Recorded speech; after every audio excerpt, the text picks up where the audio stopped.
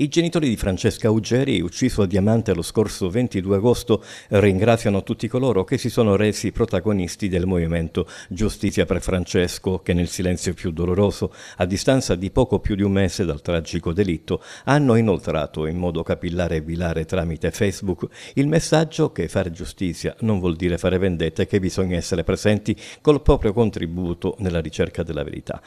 Tanti hanno assistito alla sequenza di gesti folli di quella notte di sangue, preferendo però il ruolo di spettatori mascherati dietro un cellulare per riprendere le macabre scene, piuttosto di impedire che venisse sparso il sangue innocente. È così che quei vigliacchi assassini, non con una, due, tre, quattro e molte altre coltellate inferte con crudele ferocia, tutte alle spalle di Francesco, hanno spezzato la vita di un ragazzo di solo 23 anni, vestito solo della sua giovinezza e colpevole di credere profondamente in valori come l'amicizia. Consumato il sacrificio, il branco di malvagi si è frettolosamente dileguato, protetto dalle ombre della notte e dal mantello dell'omertà dei più.